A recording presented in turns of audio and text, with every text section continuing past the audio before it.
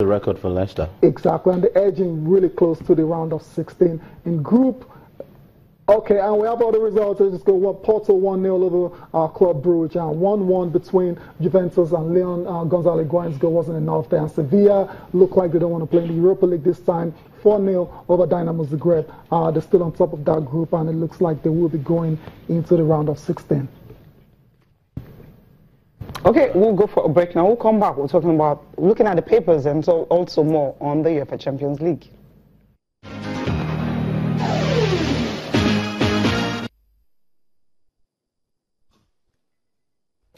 If we see the the stat, I think was 50-50, no, in the chance that we create and, and, and Leverkusen.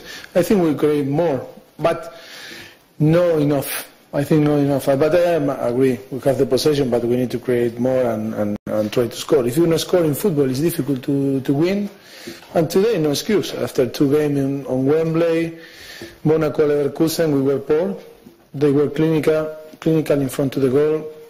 We aren't, but it's for that uh, we lose the game. Uh, no, nothing wrong.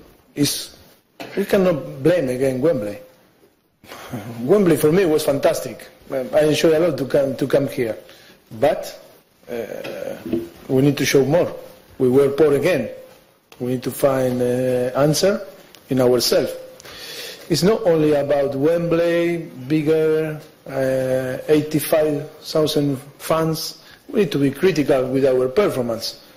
And the problem, we were the problem, no Wembley. That is very clear, and we are very disappointed. Yes, because we cannot show the, our quality or the quality that we show maybe in the last in the last month, and that is uh, that is the problem. No, no Wembley. Please stop to, to blame again Wembley. It's not the problem Wembley. We need to now. Yes, we must win. If not, forget Champions League. That is that is the the truth. Now we must win on Monaco, and if we we win, we must win against CSKA. That is true. And now, or we will win both both games. If not, bye bye Champions League.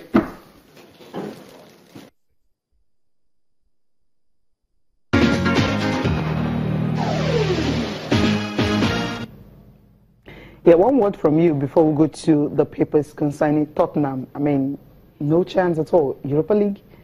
Uh, maybe that'll be uh, that, that might uh, be a consolation for them, but I'm sure they still have a chance to qualify. Win yeah. your next two games, and then hopefully the other results from the remaining fixtures uh, will go in your favor. And another interesting part about Champions League this season is some big teams are currently seated second.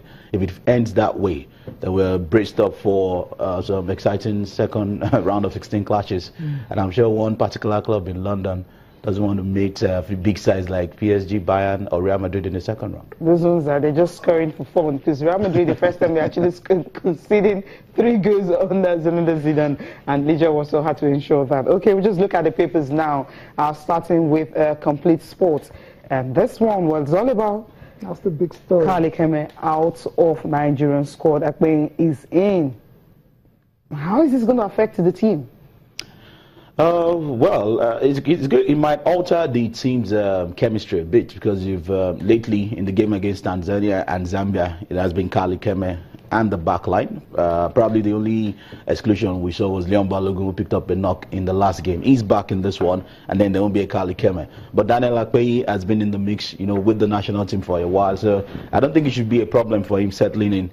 Um, with the Super Eagles, he's, he's been doing well for Chippa United. I actually follow his games, you know, closely, and he's very fit, and I'm sure he can go all out, you know, to to uh, to keep that number one spot, especially for that game against um, Algeria. Yes, you have uh, Ikechukwu Ezenwa.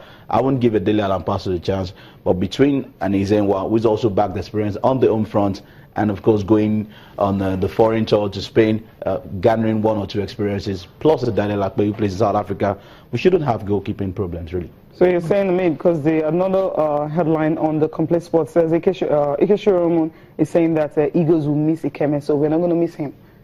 No, we don't miss goalkeepers. Okay. So yeah, basically you're saying um, uh, Akpe is a very capable replacement. Definitely, Okay. definitely. He was part of the team to Brazil. So, Yeah. I mean, he was part of the Super team before the Brazil tournament. That's talking about the Olympics. he played- He's been in the mix. He played against Egypt, if you remember. Definitely, Yeah, so and he did pretty well as well. So he's been in the mix. Okay. So we're it shouldn't, it shouldn't be a problem, really. Okay, Cecilia, yeah, Sporting Life, and this is okay. Yeah, still on the uh, build up to the Nigeria uh, versus um, Algeria uh, World Cup qualifier. Algeria's manager boasts Georges Leekens. and says we will fight Super Eagles 200%. Expects uh, Nigeria's um, massive attacking onslaught. Says Algerians won't be okay. Won't respect uh, Nigeria stars. I mean, Nigeria versus Algeria on paper, who has the better team? I mean, in terms of individual players. They released the squad a couple of days ago, and it, it is safe to say it looks a bit scary. A bit scary. 18 foreign-based players. Of course, for Georges Leekens, uh, that will be his first Yeah. match in charge of Algeria, Hmm. and then um, it's expected that he comes out to make statements like this. But then again, I'm telling you guys, on the 12th of November, uh, the, the bond in the team, Yeah. you know, uh, in, uh, in, talk- looking at both sides now, will actually be exhibited on the field of play, and probably the ones with the better bonding will get to uh, nick the maximum three points. We've got pace on our side. We've got young players. They also have their own, you know, individual stars. But I think the team that plays uh, more united on the day will carry the day. Okay, now just a rider to that one. Sporting Sun, the final one coming from me. Conte says Moses is fantastic.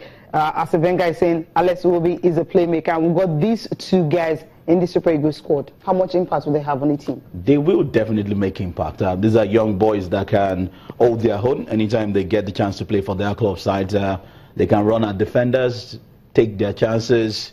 I mean, they can even uh, provide assists for, for the big boys up front in court. So I don't think we should have a problem. So far, we have them very fit.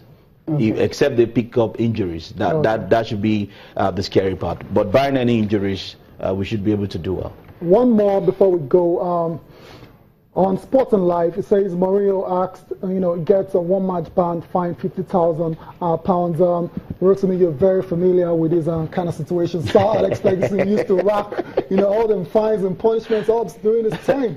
Well, it's Mario, so he's expected. I don't think this will make him stop. Yeah. Uh, another issue might Yeah. just pop up later. Yeah, but my point is, uh, Sir Alex used to rack up them fines as well too. It, it's to- not. It's normal with, with managers. It's not a big deal, right? if you let your emotions get the better part of you, Mm. you get um, you, you find yourself in such situations. So it's normal.